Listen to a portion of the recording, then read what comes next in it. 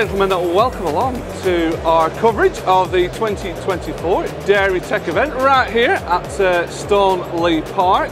Uh, I've got to admit, it's a first for me, Adam, and I'm really looking forward to this event. Looks like there's lots of tech yes, for me to get my teeth stuck into. So we should kick off with you, Adam, yeah. at DeLaval. So everybody, this is uh, Adam Haywood. Hi there, Rob. Um, so Adam, we are near one of the products that you look after, which you specialise in, which is the robots. So what's new in the world of DeLaval milking robots? Well, what's new, the box itself is not new.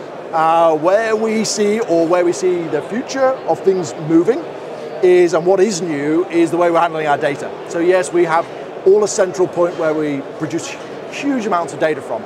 These produce so much data on a per quarter basis, per cow basis, throughout the day. Huge amounts of data set, and how do we process all that data? Well, traditionally you look through lots of numbers on a herd management software and you see what is working, what's not. That's it.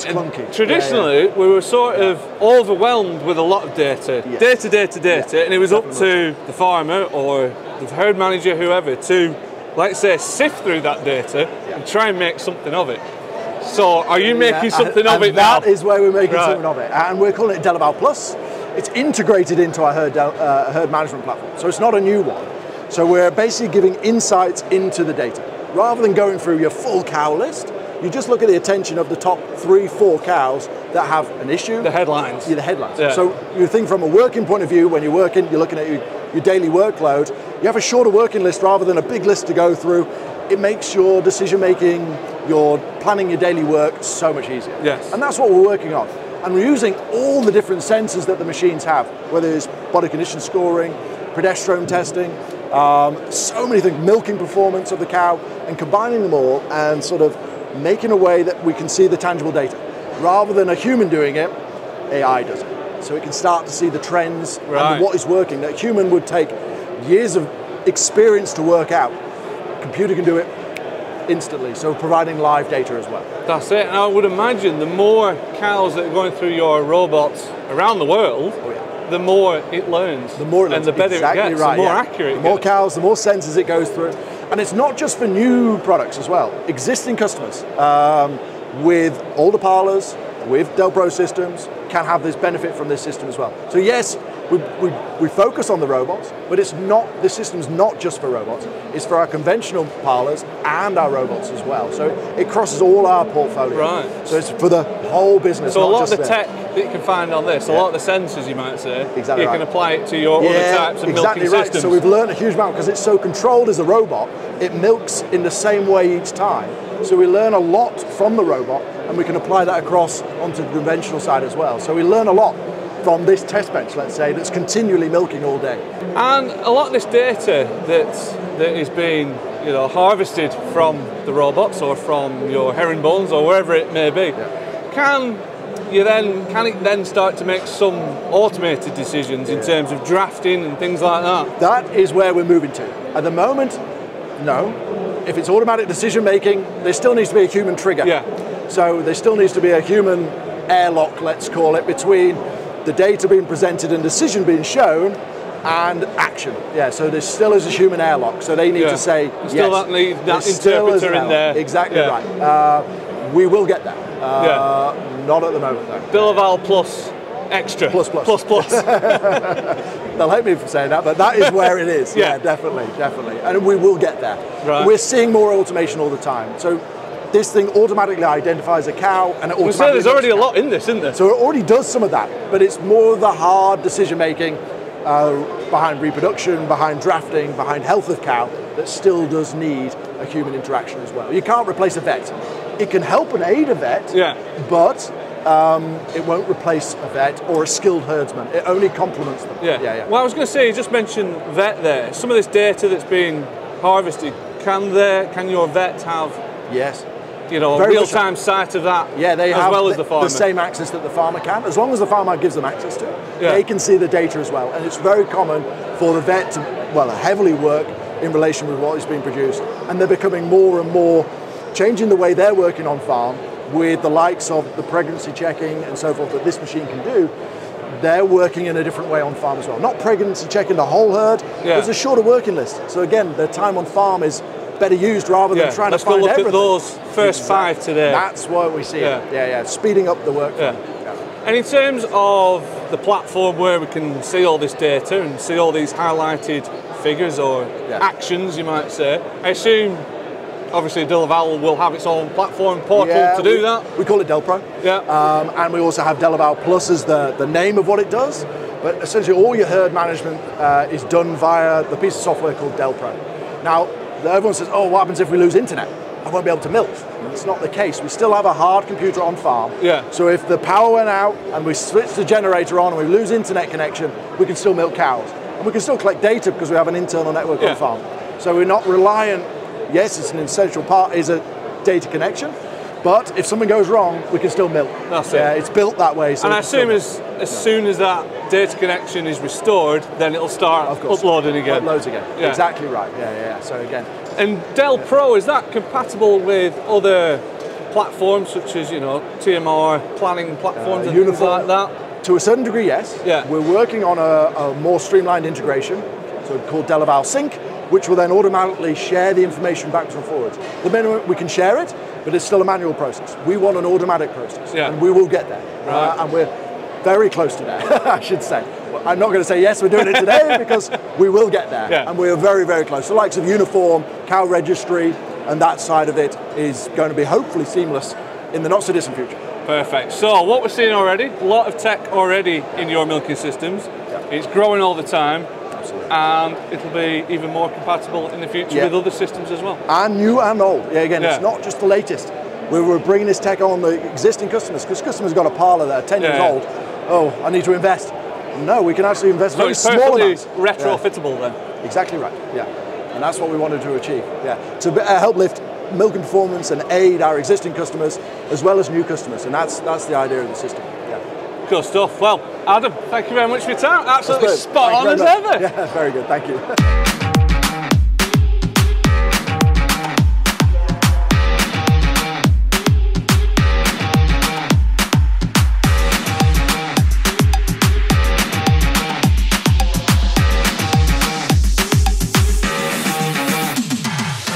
ladies and gents, I am now on the Lactalign stand with uh, Mr. James Hudson. And for those of you who are regular viewers to uh, landpowertv.com, may have already seen that we've done quite a bit about your Lactalign innovation.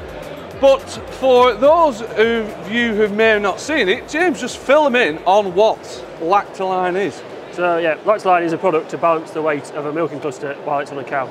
So basically, you put your cluster on, and then you put put the Lactalign up and put the pipes and the cord in, and it basically, like like I said, balances the weight. Right. Uh, and the, the reason for it is because uh, it's been proven to reduce mastitis. So maybe people might not know, but there is a bias, can be a bias in mastitis, and it can be down to uh, just down to the uneven balance of the cluster. Yeah. So as well as that, it's also reducing liner slip, reducing uh, reattachments, and reducing kickoffs. Right, so there's quite a bit, a few benefits to this uh, Yeah. Lactalign device. Yeah, it's, it's doing doing quite a few different jobs. Yeah. To, um, yeah. Now you've had this out a little bit now, a couple Yeah. of years now, is it now? Yeah. Almost. Uh, yeah. So uh, we started in, started developing in 2020. yeah. So, uh, but it took a bit, bit to get sort of, and it, so it was fitted on the first parlour, uh, all points, and used on every point at the end of 2020. Right. So we're up to um, over eight million milkings on the parlours it's been on collectively. On the parlours it's been on, Yeah. right. So, So it's it's got quite a few hours, you might say, under Yeah, its yeah, belt and a bit yeah. of data from Yes. that captured Yeah. so far. Yeah. Now, last time we saw you with this device, we were up at uh, Metcalf Farms, Yeah. up at Laban. yeah. Uh, how have they been getting on with it in particular? So that, that was the first pile that had it on every Yeah. point, every milking, right, uh, and it, so it's been on there for over three years now, right. and uh, yeah, uh, it's done a good job, and they wouldn't be without it. Right, So it's what, from my point of view, uh, the most sort of rewarding thing was when you get somebody who's worked there a long time, comes up and says, "I really like it," yeah. uh, out of the blue. Not, I didn't ask them. I just they just came up to me out of the blue uh, and said that. No. And, like when you get somebody who's worked there and she just milks, saying that, That's it, yeah. you've ticked the box. That's it, validated.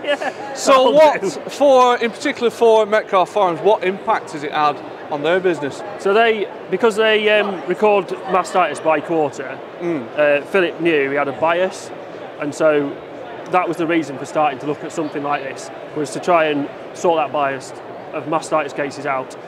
And obviously, when we started, we had no idea whether it would just move them from the front to the back, and you'd end up with the same number of cases, but just Yeah, you could have shifted it, couldn't yeah, you? could have. Yeah. But it didn't, thankfully. And there was no way of knowing that until we'd put it on every point, used it on every cow, and got enough data to show that it didn't. So it took quite a while for that to sort of gather that data. And um, but the top and bottom of it is it, it didn't. It brought the, the front cases back down, uh, and also the re- the rears lowered as well. Right. So it did a did a good job. So when we saw it at Metcalfe, so obviously it's on a big rotary parlour there. That was the initial design for it. Yeah. What developments have happened since then? Is it available on herringbone parlours, rapid exit parlours? Yes. Where are we up to with it? So yeah, so we started with rotaries. Uh, so it's on several rotaries now. Uh, we've also got a couple of uh, rapid exits, and then uh, we're working on the herringbone version. Right. The herringbone version has taken quite some doing. Is it a little bit more Yeah, it's just, challenging compared to the rotary, you might say? Yeah, definitely. Yeah. It's trying to get it in such a way that uh, it works as you want it to, and does exactly what it should do. So James, you've got a bit of a, a virtual parlour set up here. So just demonstrate how this uh, how Yeah. this device works. So literally on as normal Yeah, with your cluster. yeah. Put your cluster on, pull your cord out, flick it up. And then just in sort of Yeah. one movement, just like that. Yeah, It's done. And, it, and it, people who do it all the time are a lot slicker than me. Yeah. I was going to say, when were you last in a parlour? It's been a while. yeah. So yeah, so basically when it uh, when the cluster comes off, Yeah. it uh, cord pulls it off. Just like that. So in just one Not quite as much. action, one Yeah. movement, Yeah, it's all done. yeah. No extra mechanical bits on here to No. make it move. No. It's just a bracket. It. Yeah. Just And bolt that's it. On, drill some holes, bolt it on. Job's good. There you go. Well, yeah. that's what they're saying. It's uh, the simplest ideas are the best. yeah. Yeah. Yeah. Spot on. Well, I wish you all the best with it. Done job. Thank you very much. Good stuff.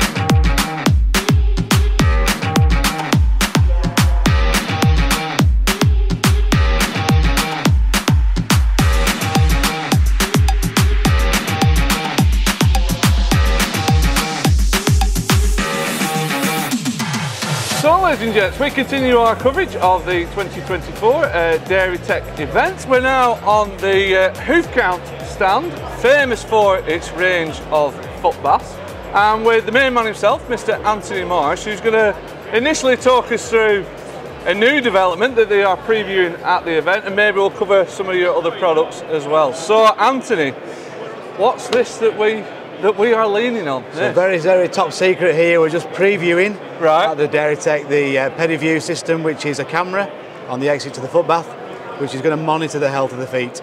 Right. So is it one camera, a couple of cameras looking from different angles? How's it sort of work? I know you don't want to give too many secrets away. No, it's okay. One camera looking out uh, as the cow walks over the front of the bath. It then, using AI and machine learning, will take a video and then detect which hoof it is and tell you if there's any problems on that hoof. Right. So is it sort of looking up or straight on as Looking straight out. right, straight out of the Yeah, out yeah. of all the feet? a- as the feet come over the front here, it can then look at the lifted hoof. right. So it looks at the underneath of the hoof every time. Yeah. So it can literally monitor each hoof individually. Uh, yeah, and using machine learning AI, it can then tell you if there's a problem on that hoof, a lesion or a digital dermatitis, or maybe other problems as well. So basically, we've taken thousands and thousands of images over the last 12 months. Yeah. You've taught it and, what and to we've do. taught basically. it what to look Taught for. it- yeah. So and, and the more we can feed into it, so as it develops, the better it'll be. So we teach it what it is to look for, and then the cameras, you know, the, the technology they've got nowadays, look for that and send the farmer a notification Yeah. when there's a problem. So down the line, then, the more cows keep going through this system with the camera and the AI learning, Yeah. it'll learn even more Yes. going further Yeah. down the line, and ultimately, will it get more accurate as well? It'll get more accurate and it'll get earlier when it sees a problem. So the earlier we can see a problem, Early the quicker can- we can treat it, the better the chance that cow has of getting back to zero, um, you know, back to perfect again. Right. And all this data that this, these cameras are monitoring and recording, what happens to all this data? Where does it get fed to? That kind Uh, they tell me it's in the cloud, and when it rains, it comes down. I don't know. Right. it's above my above my pay grade, but it's somewhere up there. Yeah. It's all sent back to a server we have. It's all processed. Some of it's processed on farm, depending on what information it is. Yeah. And depends on how many cows you have, and then it comes back as notification. You know, as as people, we don't want all that data. But we want the notification of what that data's about. We want the essentials, it's- It's, our job to then interpret that data, send the farmer a, a reminder or notification of what he has to do. Right. So Keep these simple. Yeah. So these reminders and notifications that the farmers are getting, is it via an app on the phone Yeah. or? It'll be via an app, it'll ping up a cow needs treating, it'll then give him a weekly treatment list of what he has to do. He ticks a box, treated it. If it needs retreating, it'll come back up again. If not, gone. Right. And then we've got a record then for future reference as well. I see you've got full traceability Yeah. there, haven't you? yeah. Every case of lameness costs £300. If Yeah. we can reduce that number of cases, it's going to be more cost effective. Well, that's it. Some of that adds up, that, Yeah. isn't it? Better for the farm, and better for the environment. You know, we prevent a lot of lameness with our range of foot baths, Yeah. which is the first priority. Right. And foot bathing is key. If we can start monitoring what's going on with those foot baths and monitoring what's going on with the cows, You're taking better. it to another Yeah, level. Another level altogether. Right. And then, as it's monitoring the foot health, is it tied into a drafting system as well? It can draft them off. It will be able to if you want to, but at the moment it's just a. At the moment, it, a farmer would only see dermatitis probably about three or four weeks too late. Right. So if we When can it's tell, really we, we- visible. we, can tell him a week, you know, at week one, yeah. at some point during that week, then he can then treat it. They can jump on it and get it Um, sorted. but we can we can link into shedding gates if we want to, but at Right. the moment you might be able to treat it in the parlour. Treat in the parlour, it's easier than having to lift the cow in a crush. And this data as well, as well as the farmer being able to see it, is this some is this something that you could share with your vets that they could see it in real time as well? If you want to, you can share it with your vets or with the lame your hoof trimmer. Yeah. Um, that's entirely up to the farmer. Sound. So yeah, more information that people have, more integrated approach we have, the Yeah. better chance we have of getting healthy cows. Right. Healthy cow, more profitable cow, less carbon footprint. Exactly. All adds up together. That's it. And at the moment, like I say, it's a preview at the moment. So when are you thinking sort of full on launch with We're, this? we're on four farms in the UK at the moment, just as a, as, to get all the trial data.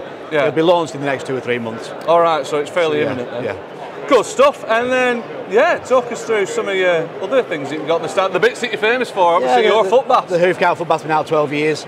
Um, you know, foot bathing's a job that nobody likes to do. yeah, So what we've done is automate it. yeah, Larger number of herds, robotic herds. You know, you haven't got time to start changing the foot bath. It's very important it gets changed at the right time. So our foot, foot baths count the number of cows through the bath, then empty, wash out, refill, add the chemical in which nobody wants to handle. No. So all very important things, just making a job that's not enjoyable, make it done properly and effectively. Yeah. And that's all we've ever done. We're not setting the world on fire with the new technology with that one. We just want to make a system Yeah. which is reliable for people. Well, it's like anything, innit? If you make it easy to Yeah, do, it gets done. it'll get done better Yeah. and more regularly, yeah. won't it? And, and it's key. Prevention is always key. Yeah. So, And this, sorry, just going back to this Yeah. again, just this camera system that we've got, will you be able to retrofit this to your existing, foot baths, baths, yes. right? Yeah. And, and the feet are then clean when they come through the camera, so it's easy for the camera to see what's going on. Yeah. Cracking stuff. Well, I look forward to seeing how this develops in the future. For now, thank you very much, Anthony, for that. Thank you. Absolutely spot on, is that?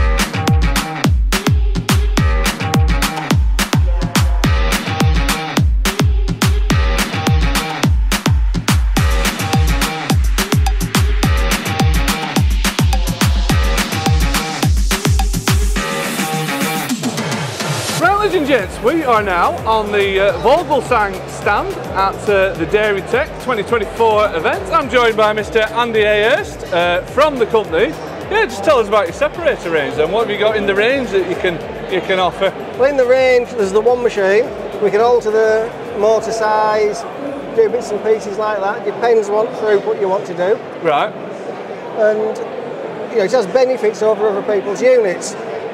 The gearbox and the motor are well away from the liquid. So you're saving away. Yeah. You don't need fancy mechanical seals or anything like that. A lot simpler. And then when you look at how the unit actually works, we've got the big seal in this end and she holds everything in, makes a plug, and then it pushes through. You can alter the dryness. Right. So if you just want to separate the slurry just for the sake of it, yeah. you can hammer it through at like 60 cube an hour nearly. If you want to get it really Just for dry, simply separating, there's a bit of dry muck yeah. and there's your slurry. And if you're going to do Yeah. that, the basic reason you do it is to save on storage. Yeah. 25 to 30% storage saving. So it's a heck of a lot when you look at a million gallons. You know, it's like you've nearly saved a ring on a tower. That's it, yeah. It's like, you know, it saves putting another tower up nearly. Oh, well, it will do. That's it, yeah. And then you move on to the boys that are green bedding. I going to say at the other end of the scale that want it really dry, Really dry. to reuse again. Yep. We can alter the dryness on this really simply by a screw on the end. We can move the auger backwards and forwards, so we can get this so dry that when it comes out, you pick it up, squeeze it. There is no liquid, no moisture, Right. and it's a case of yeah, your green bedding. You know, you are fit to go straight in. What sort of percentage moisture would you have at, at that stage? You can get down to like 35% moisture or less in, Right. in it. So it's pretty dry fluff at that It is dry fluff. If you get some straight out of the machine, it looks a little bit lumpy, but it is dry. You throw it on somewhere that there's no moisture at all, five minutes, it just all swells up and it nearly blows away. Pulling the moisture back in, back out of the, you know, wherever else the Yes. slurry them. Pulls it out of the Yeah. atmosphere. So we have one of these set up on a mobile unit. We call it the Pro Plus. It's the X-Split, which is what the unit is. It's the Pro unit on a lift frame. It's on a trailer. We can tow it onto site uh, and sucks in through a rotary lobe pump, a Vogelsang one, through a machine we call a rotor cut. Yeah. We haven't got one on the stand, so I can't show you one, unfortunately. What that does, it takes any solids out. So anything that shouldn't go through a machine, i.e. metal, etc., that's Yeah. been sucked up, pulls that out, leaves it in the bottom.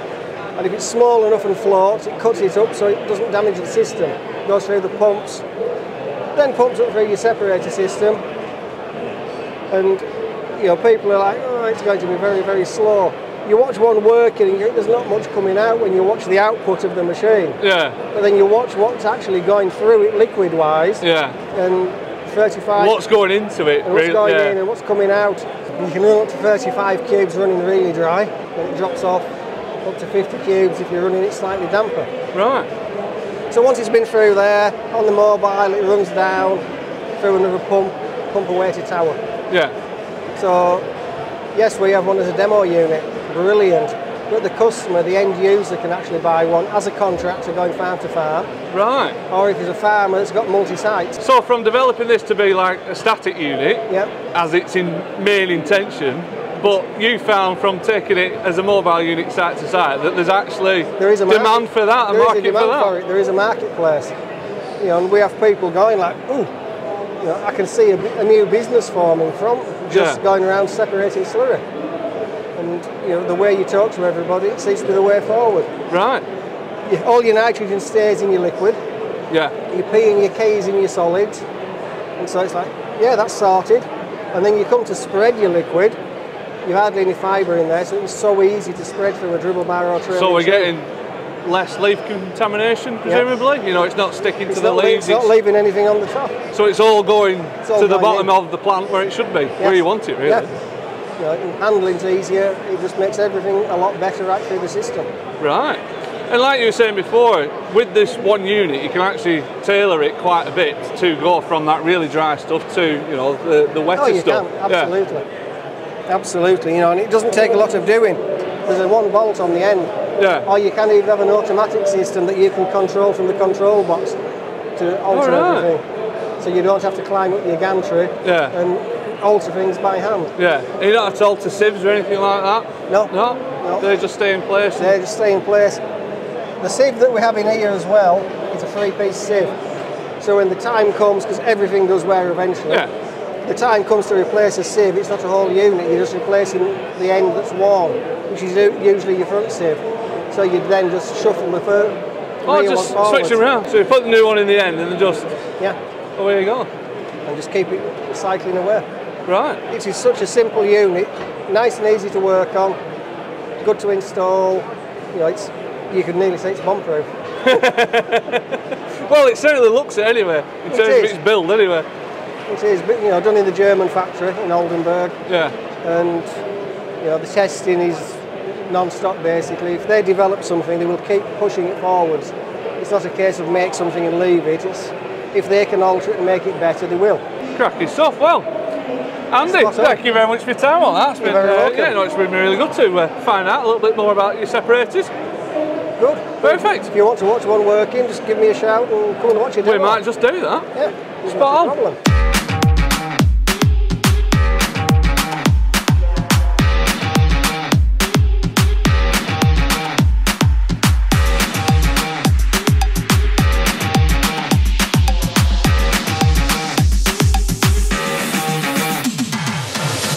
Gents, we move on uh, with our coverage at the 2024 Dairy Tech Event uh, Show, and we are now on the TAFE tractor stand. And I've got to say, it's the first time I've seen one in the flesh. So, to find out what they are actually all about, I've got the man himself from TAFE Tractors, which is Mr. Martin Richards. So, TAFE Tractors, um, how long have you been sort of bringing them into the UK? Uh, 24 years we've been importing them into the UK now.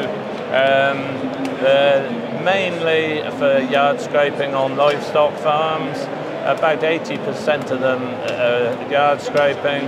The remaining 20% are on small holdings, hobby farms, stable yards, and they're usually four-wheel drives with loaders. Right. Um, we have the complete range of sizes of scraper tractor farmers from 100 uh, cows to 4,500 cows. Uh, we've got customers doing over 4,000 hours of yard scraping a year. That- So that- clocking up a few hours yeah, then. Right. that actually equates to three full-time tractor drivers on one tractor. Really? Just Uh, sort of shift work almost. Yeah, yeah.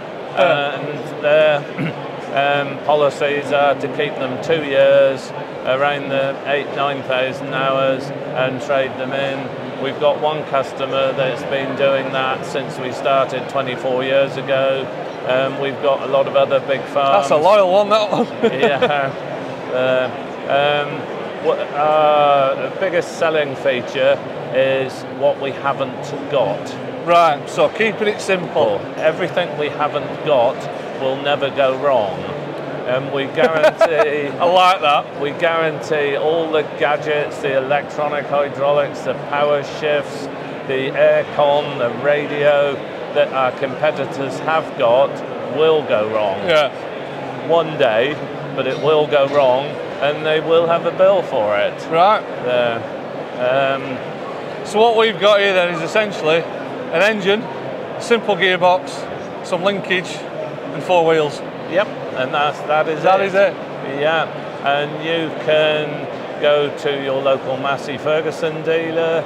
You can get spare parts from most uh, agricultural tractor dealers that, that sell the likes of Vapormatic, Sparex, AgriLine, non-genuine parts.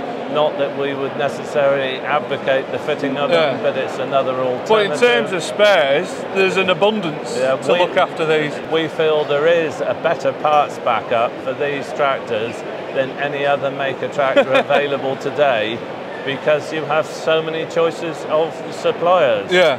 You can buy a brand new one of these tractors today, have a road accident with it, or and break a casting or another component, and you can go to a Massey Ferguson breaker's yard and pick up a bit from a 1970s tractor that will bolt straight on it.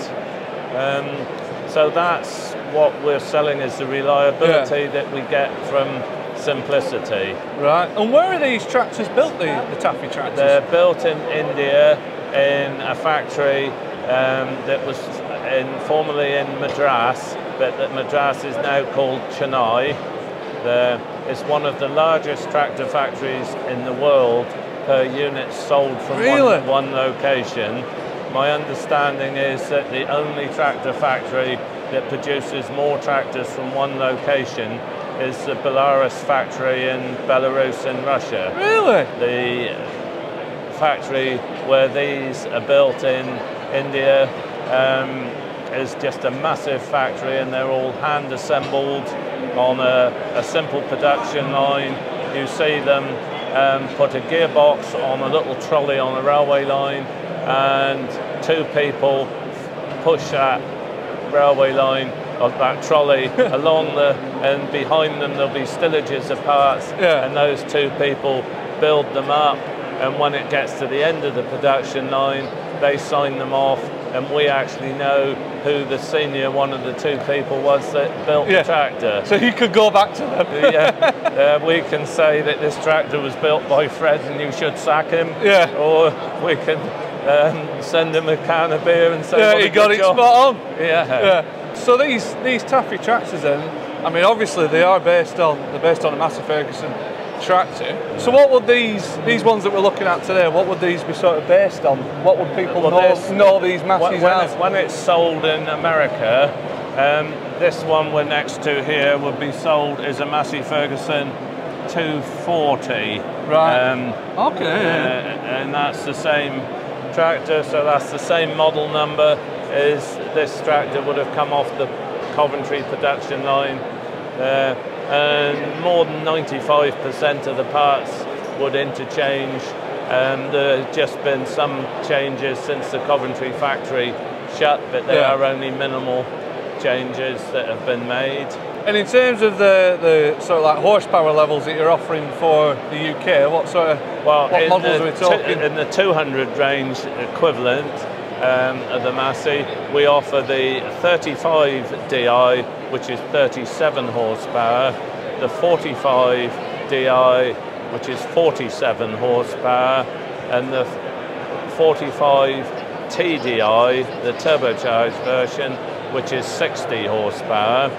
Later in the year, we will have the TAFE 75 15 tractor, um, which goes up to 75 horsepower. right. Again, sticking very basic, simple, not loads of sensors. Yeah. No limp home mode when the transmission sensors go Get on or- and go and Yeah. keep it simple, like yeah. You know, these electronics, a lot of them will break down when the tractor is parked in the shed overnight.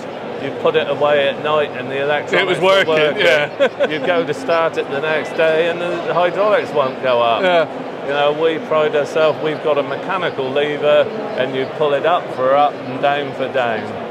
Um, if you go back to the 1980s, um, the drivers were strong enough to pull the lever up. and I re- now, now that they're going to the gym, you'd think they'd still be able say, to pull yeah. a lever. But no, they just want a little switch to flip That's the it. finger. The little switch, and a little Edlin management system, and that's Yeah. it. Well, Martin, thank you very much for talking us through that. It's been uh, it's been great to actually have, finally have a look at these tractors. Uh, and you never know, hopefully one day we might try one out as well. So, Yeah. yeah. Thank you very much for Thank that. you. Perfect. Okay.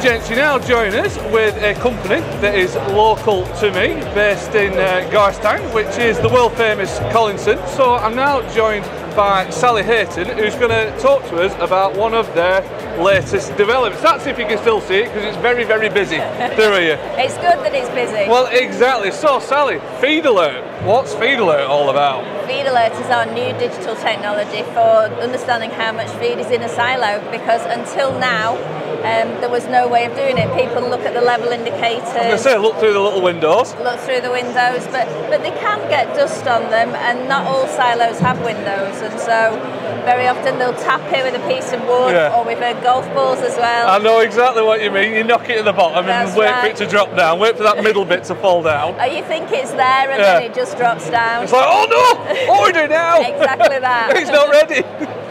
Yeah, and so if, if, if that happens and someone runs out of feed, they have an outage or the feed company can't get it there in time and it has massive consequences that ripple and, Absolutely. and so it affects the milk yield and if the milk yield drops and then when they do get the feed, they then have to build it up again and so that, that financial loss is more than a feed alert. So it's a There you go. I'm Yeah. sold already. I wish I'd have had this when I was a lad. So, Feed Alert then, go on. How does it actually work, you know, in terms of, you know, what's inside the bin that monitors the levels? It's, it's so clever. So it's this sensor here, which Right. is a, a strain gauge, and it goes on the, the, the leg of the silo. It goes on any silos, not just Collinson silos. So Right. can monitor. So you can retrofit this to anybody's silo. Absolutely, it can be retrofit in half an hour. um, and it stresses the tension in the leg. So once it's installed, we need to get the silo empty or as close to empty as possible, tare the silo, Yeah. and then after the delivery, we calibrate it to a delivered amount, and that sets a scale. Right. And then as the feed is used, it, it comes down and you can see how much is on there. So as simple as that. As simple as that. So basically, it's technology that we've seen for decades on diet feeders, strain gauges, oh, yeah, it's and you just applied it to a, a silo tower. We have, so we did a lot of R&D and we have refined Yeah, it. Right, I would say you've not just slapped one on and had- had a go, no. So it is built to our specification, but yeah, in essence, that's it.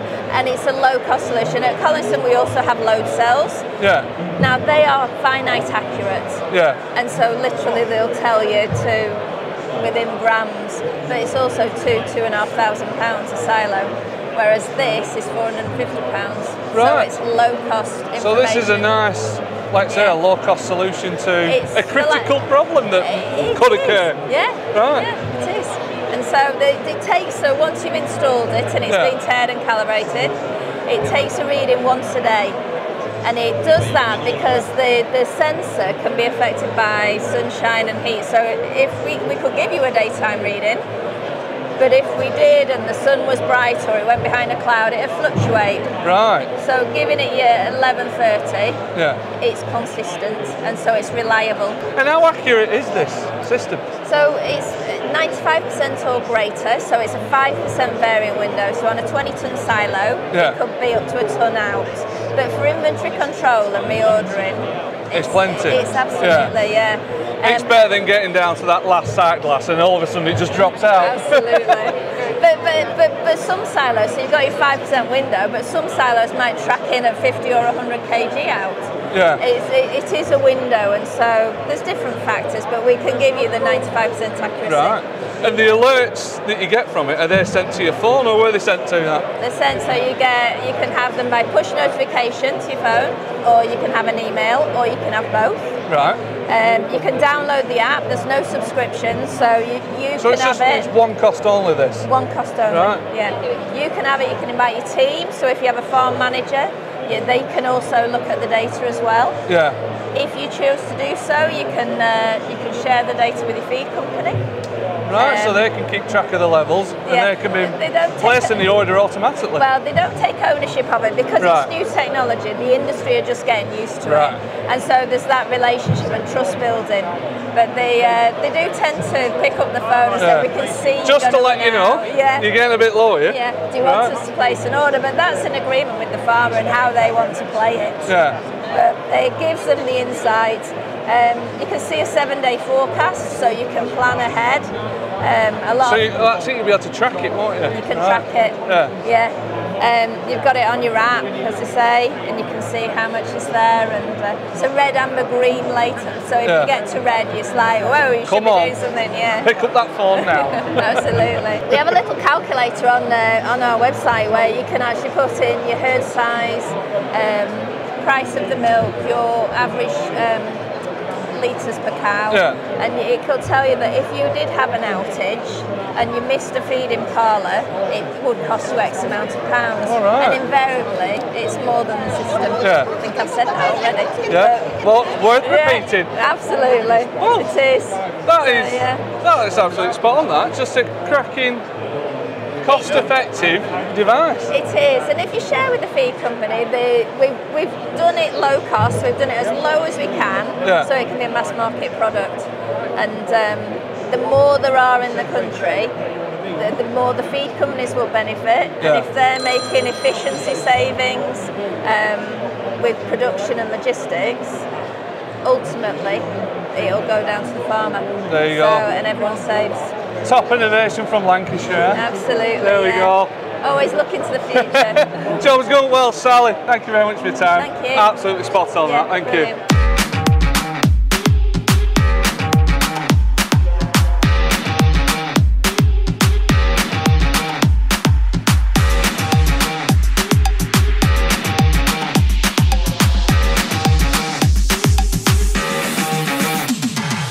So, ladies and gents, we're now on the RE building stand. I'm joined by Mr. Dave Eastham, who, well, you've got another new product from the Bobman stable. What, what is this you are perched upon? Uh, this is now a milk bus. This is the milk bus. This is all milk aboard bus. the milk bus. All aboard. This is for mixing calf powder on this model. Yeah. And then distributing to feeding calves quickly. Right. And I would imagine this is just the job for those large dairy units that Large. have a lot of calves. Yeah, large dairy units, even the mid-range ones. There's a, two models available: 1,000 litres, 500 litres. Right. Uh, there's So this will be the 1,000 This one, is the thousand. right. This is the, the, the big one. But yeah, all metered out milk, so each calf gets its correct amount. It's not just by the eye. Not just by No. the eye, it's all metered, and each calf has got its. Right. So you say this is, like I say, this is geared up for milk powder Yeah. for mixing. I assume that's what this motor's That's about, what is this it? motor's for behind you. So put your water in, warm water, put your powder in, give it a mix. And away you go. Off you go. Off on your little merry way. That's it. So and do you do a version without this motor on as well? Yeah, there's a pasteurisation uh, model Right. for heating milk. Yeah. Uh, it has still the motor on, but slower versions. It's just a paddle rather than a mix. Right. Uh, more just more of an agitator. It's more of an really. agitator. Right. Uh, still on the same base unit on that, so it's Yeah. just literally slight different variation in the Yeah. tank. And the 500 litre version is that the same? Just base? exactly the same, smaller tank. Same base unit. Right. So this is the Bobman base unit, Yeah. all electric, Yeah. uh, 48 volt, four batteries, everything. Yeah, so this is what they call the Cobra on top of or Right. underneath. This And away you go. So like I say, all battery powered. All battery powered. So how long will you get out of a, a runtime, Uh, roughly? Two and a half hours. Right, which should be plenty to. Should be plenty. Yeah. And then look the back, which you can look at in your video, there's the self-clean unit. So while it's cleaning, it charges. Right. So yeah, it's all plugged in that way. So you can park it up, it can be charging, but it, be cl- It'll it can be cleaning while itself you're out. then doing Right. other things. Clever stuff. Yeah. Uh, and you say it's all it's all metered, is it? You got All this metered. control panel This here, touchscreen, is it? Touch that? screen control panel. It's all feeding, different presets, different variants up to however many litres you want. So if you're feeding bigger pens, you can then go and put 100 litres out, not three. Yeah. So you can, yeah. That's Right. So you just what? Is there a trigger on here that you just oh There. just there and that's I'll not it? do it. I'll fill you. Yeah, I'm going to say don't do that just I'll do here. that. So, So you select the amount to be discharged and then be- just yeah. And off you go. Away you go. There's three preset models. yeah. And then just your milk quantities in there, or continuous operation. And you literally just run up the side of the Just calf the side, the Got your lance there. Lance comes off, so you can then just walk away from it. Press the button. It'll then distribute the right, the, your quantity set. Yeah.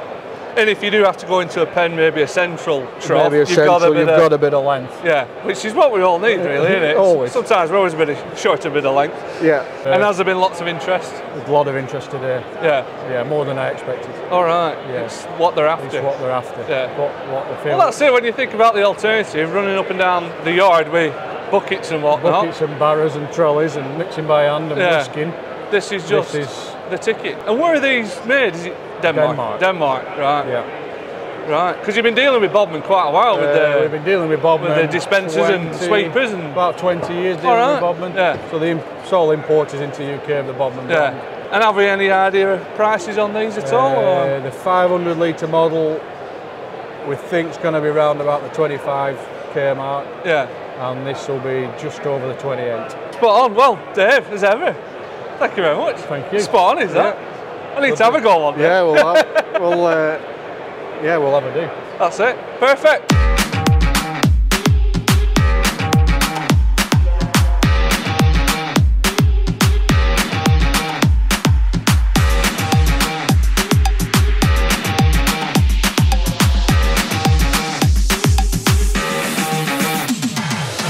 Those of you who are regular viewers to uh, landpowertv.com will know that we sort of specialise in doing farm machinery and technology reviews and customer testimonials and all things to do with farm machinery and technology. However, probably one of the bigger questions that uh, is on people's minds is how do we actually pay for all this farm machinery and technology? Of which the prices are just continuing to go one way. So, to gain a little bit of industry insight into the world of financing in the agricultural marketplace.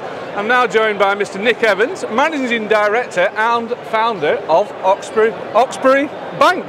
So, Nick, Easy, first, easy for you to say. I know. Yeah, yeah. Wait till we've had a couple of pints out of here. I've got to say, I like what you've done with the place. This is a work of genius. This, the Oxenberry Arms. Who would imagine that giving free beer to farmers would, would create a bit of a crowd? Exactly. Yes. So I know it is busy on here. So, down to business then. Oxbury Bank. Yep. Uh, just tell us a little bit of the background about the bank. Yep. Okay, so um, we started, uh, the, the journey started, if you like, in 2018 when we had the idea that the UK needed a specialist agricultural bank. So France has got one, Credit Agricole, the Netherlands have got one in Rabobank, but we don't have a specialist agricultural bank in the UK. And, and here's the thing, their, G, their uh, agricultural uh, industry, as a percentage of their GDP, their gross domestic product, is 1.7% in France and 1.6% in Netherlands. Here, 0.7. Right. I don't think that's a coincidence. So I think the UK needs a bank that really understands what these guys at the show uh, and, and the wider agricultural community actually need someone that understands their business. Exactly. And the, the strategy of the core banks is, is really not to focus on individual businesses. They want to focus on retail and want to focus on, on corporates. I think really now the, the, UK farmer and other bits of industry, but UK farmer needs a bank that understands the industry in which Exactly. we work. A Yeah. specialist Yeah. bank. A specialist bank. Yeah. The other difference between what we've done, by the way, is, is Oxbury Bank is owned by farmers, by the industry.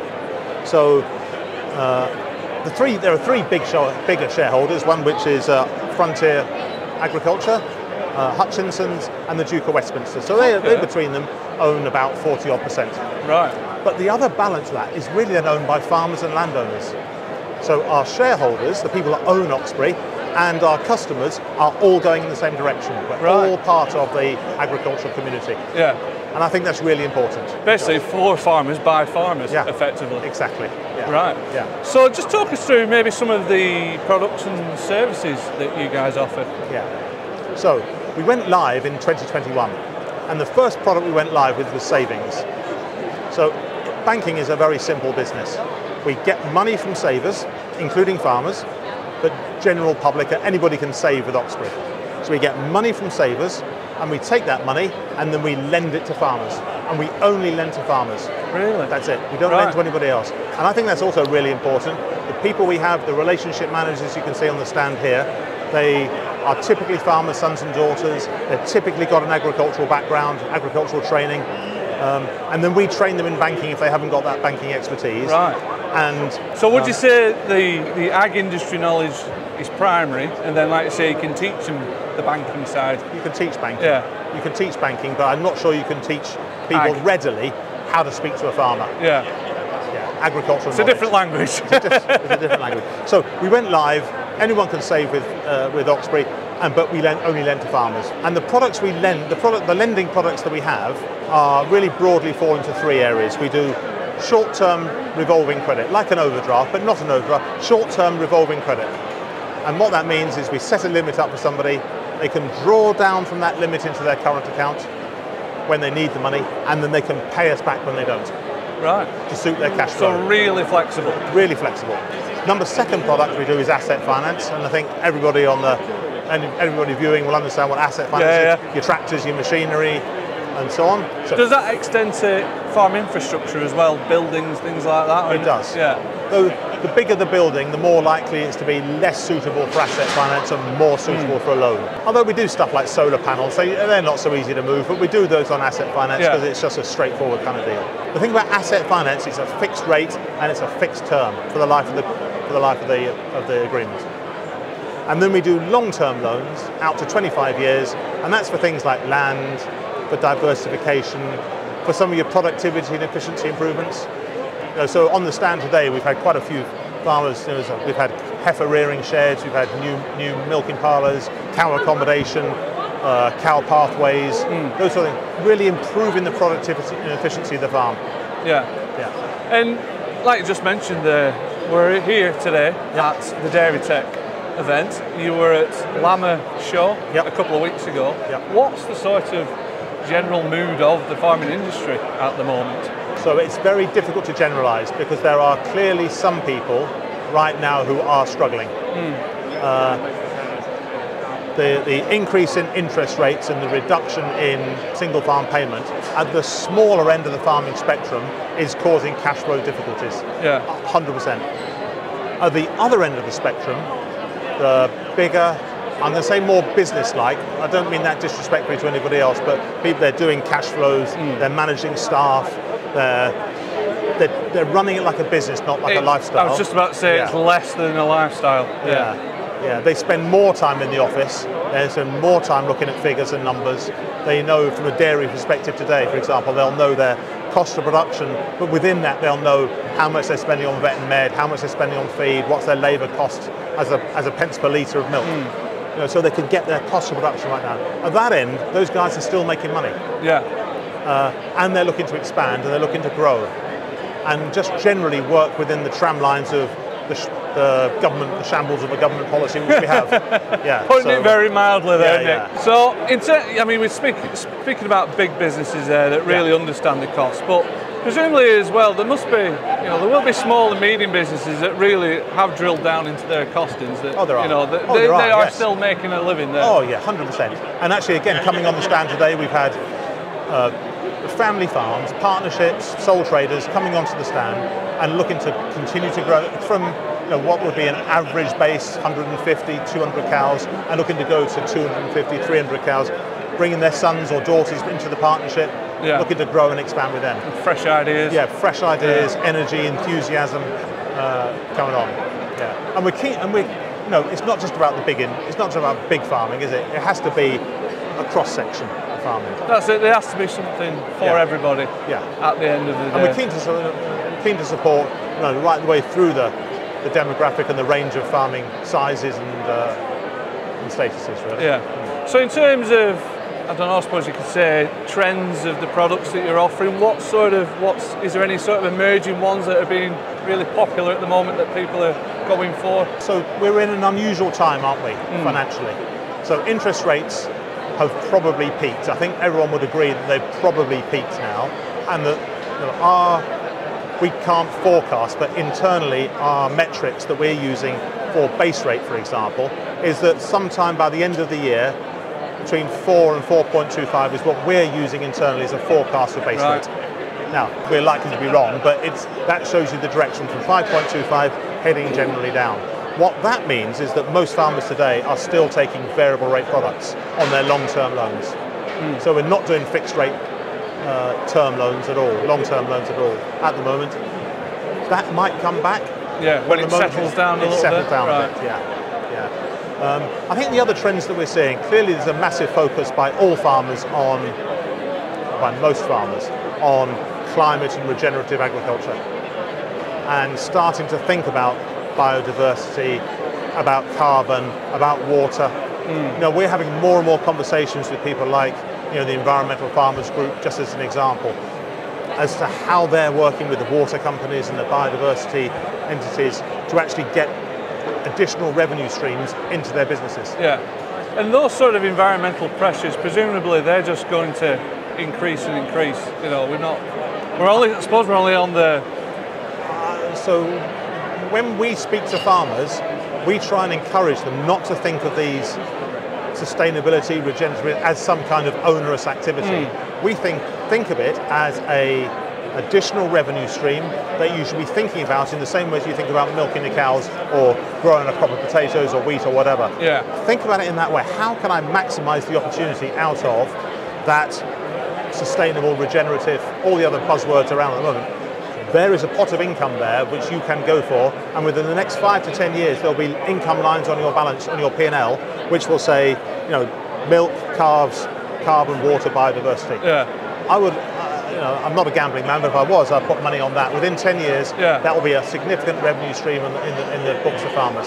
Good stuff. Well, Nick, thank you very much for that that little insight. I'm sure we could sit here and chat all day about Yeah, yeah. finance because it's such a massive topic. But uh, yeah, for now, thank Well, you. normally, normally, by the way, bankers are the, are the last person you want to speak to, but uh, hopefully, uh, I know, but hopefully be quite interesting. like you said, it's by farmers for farmers. Yeah. You've got a big USP there. There's a Yeah, big yeah. difference. Yeah. And you know, I've only met you guys for the first time today. I can tell there's a difference already. Yeah, yeah, no. You know, that big corporate mentality is not there. no, no. So if it ever gets there, come and give me a I'll let you know. shop front. Yeah, yeah, yeah. I don't- No worries. And next Yeah. time we'll have a pint as well. Fantastic. Nice Thank you very much.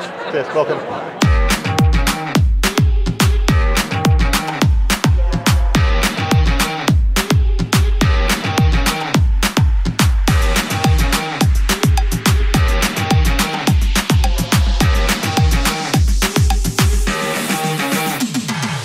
So, ladies and gents, our coverage of the 2024 Dairy Tech event continues, and I'm now on the Omnia digital stand with Harry Rebetz, who's going to talk us through this device, which I believe is the TerraMap. So. Harry, explain to me, what is it? What's it do?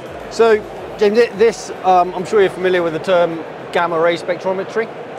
Every now and again, yeah, gamma ray up. spectrometer. Yeah, so essentially what this is, this is our digital soil mapping service. Um, and this is mapping naturally occurring passive background radiation from the soil. Right. So we're mapping four isotopes, cesium, uranium, potassium, thorium. And then from that, we can then be guided by the, by the computers on the machines to where we're going to go and take our soil samples from. Okay. So we- Okay. we'll then take a number of soil samples off the back of this data. Right, So we're taking 800 readings every hectare from this, this piece of machine, Right. machinery. Um, so it, that allows us to build a really clear, accurate, detailed picture of the phosphate, potash, pH, magnesium levels across the field. in- Right. as far as organic matter, carbon, whatever the, a farmer wants. and you're saying this is a guide to how you take your samples, is it? It doesn't just do it all for you? No, or- so this isn't telling us how much phosphate or how much potash we've got in the soil. Um, this maps all those isotopes, yeah, and then on the back of that map, it will say you need to take a soil sample here, here, here, and here. right, And then we use those soil sample results to calibrate the map. So right. we couple the two bits of information together: Yeah. the soil analysis, the gamma ray map, and layer those two together, and then we can calibrate between our soil sample locations Okay. to produce a really high Right. detailed, high So when it's map. Trying to tell you the ideal location to go and do your soil sampling, what's it kind of, what's it sort of looking for? What are the determining factors to say, right, take your sample here? So it's looking at the total count of isotopes across Right. the field. So we will get a map from red to red to blue, high levels of total count of isotopes, low levels of that so total count, and we'll, the, the the computer will say, well, let's take a calibration sample up here, and there's high levels of isotope, Oh, and and, a, and one down here in the low levels, and then it will, it will uh, spread in, in between to get a good a good spread across that field Yeah. essentially where we're going to take those soil samples from. And then ultimately you're getting a, a really good understanding of actually what's under your feet effectively. yeah. Cool Yeah. stuff. And then this, this device that we see here, in miniature I This is a, presume. sca- a scaled down Yeah. version. We don't employ three-year-olds to No. them. No. So what sort of scale will we be talking with this Uh, device then? uh, not a lot bigger. The sort of full-size scanner is probably uh, nearly a metre wide, probably. And we have them on a range of ATV type vehicles, Yeah. small four-wheel drives, um, yeah, anything really. And when you're going up and down doing your scans of the field, do you Yeah. do it at certain spacings? You know, when you're going up and down, what sort Yeah, of what's so- your ideal sort of spacing? Um, we'll drive every sort of 10 to 12 metres. Yeah. Um, if there's tram lines in a field, uh, it might suit every tram line or every tram line and one in the middle, um, or sort of eh, roughly between 10 and 12 metres. Right. Anyway, yeah. Okay. So- And the uh, the map that you are ultimately creating with all the soil samples and what this is doing as well. Yeah. Can you overlay that with other maps such as yield maps and things Yeah. like that of that field? Yeah, so Omnia, um, you can see behind us, is, is, is the sort of farm management piece of software that hosts all this data. So in there we've got yield maps, we've got biomass imagery from satellites, any sort of farm data management layer you, Yeah. you, can, you can think of. And yeah, you can overlay the, two. And then also with this data, we can produce variable rate fertilizer and nutrition plans on the back of it. So Right. we take our pH map, for instance. It's a really good example as a as an easy win, and then tailor our lime requirements on the back of our pH map. Right. So we might be applying five ton a hectare in one corner of the field, and possibly even nothing in the other corner of the field. yeah. But really easy wins in terms of financially and doing the right things for the crop and the soil. Exactly.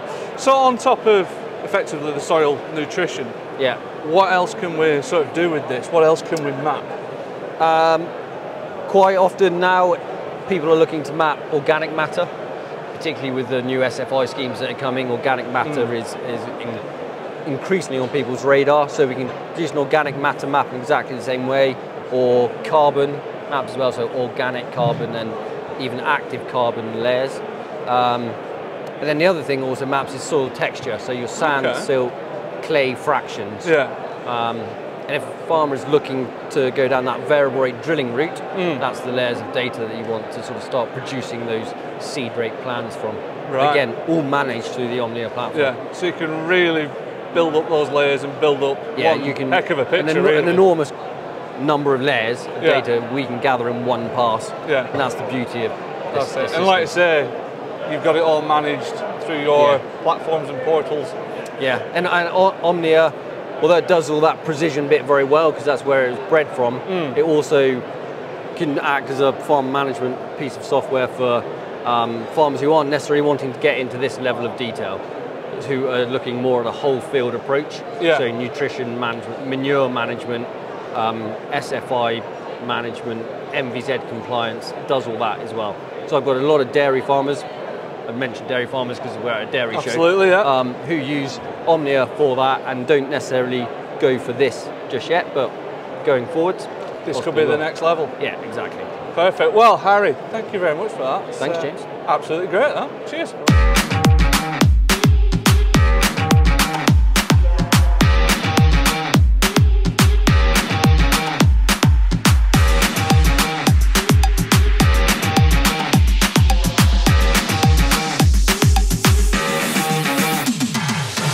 Ladies and gents, you now join us on the JFC Agri stand, uh, and with Megan Joseph, who, well, we're going to have a chat about one of your sort of, well, there's a bit of a buzz about it, which is the uh, Evolution automatic calf feeder. So, Megan, take it away. Tell me about this. Yeah, so perfect. So um, the machine's been in the UK for a few years now. There's two different models. You've got the S2 and the S4. The main kind of headlines of the product really are it's user friendly.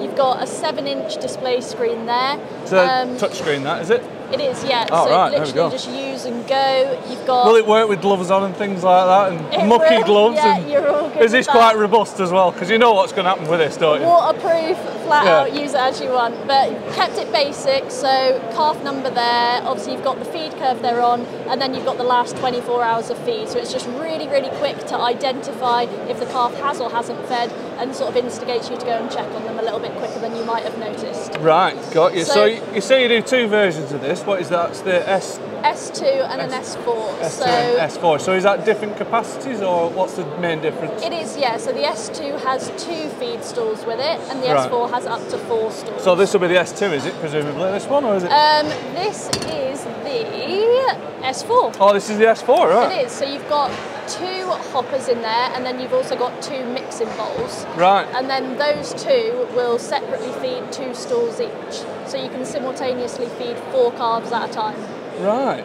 So in terms of, I suppose you could say the, the positioning of it and mechanics of it, how would it sort of work within a calf pen? Would you put it in between two calf pens, or- or would you It- put it in one, or? It varies massively, to be honest. It's a lot. Um, the early stages of shed design are very important because obviously you want to get your drainage and everything else in the right place. But for some people, they'll have them sort of in the middle of the shed out the way and then piped into the pen separately. Right. It's just, yeah, varies a lot depending on design, number of calves, everything like that. But lots to consider in the initial stages. So this is quite a flexible unit then. Very flexible, yeah, very flexible. Right. So suitable for 35 calves, suitable for 140 calves. Right.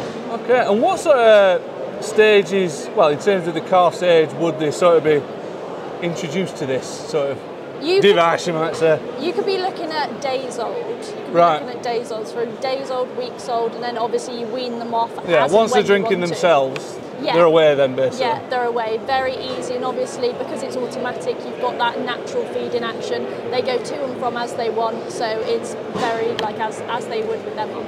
Right. And can you do, you know, your powder mixing in this, or do you do that beforehand and then put it in this, or how's it how's it work? It does it literally all for you. So All the, right. o- the only thing you need to do is put the powder into the machine. So you put the powder into the hopper, and the mixer does everything else Yeah. in there. Heats it, does That's it. Literally, that's it. Just So leave it to it. And does it go through certain cleaning cycles as well? It does, to yeah. look after so itself? What you can do is after each calf feeds, the it can do an antibacterial teat wash as well. So between feeds, then it will do a full clean out. Spot on. Well, Megan, thank you very much for that. Thanks for having me. That's been great. Cheers. Perfect.